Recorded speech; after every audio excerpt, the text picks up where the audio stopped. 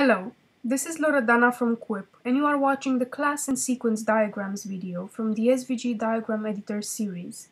You are watching a proof of concept demo that offers a technical solution for easily creating diagrams in a vectorial format. This is Devi, our interactive diagram development tool built as a Meteor.js Kuip plugin. Devi can automatically position edges and nodes, making the process easier and faster. It uses Markdown syntax as input, which is very easy to use. And for a live editing example using a flow diagram, check out our basic features video. I will now show you an example of a relationship diagram created after the underlying database structure of SNOMED. You can see tables and their fields, as well as how they are connected to each other. This can be very useful when having complex systems because the visual representation is always easier to understand.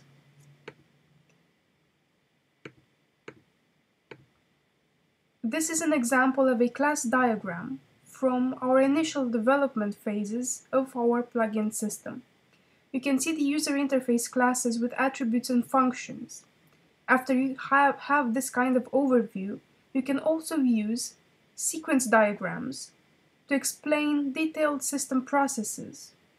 In this case, how data is shared between classes, specifically these classes here, and how the classes react when that data is updated. Every project should have these kinds of diagrams included in their documentation, because they make the process of understanding the system much easier.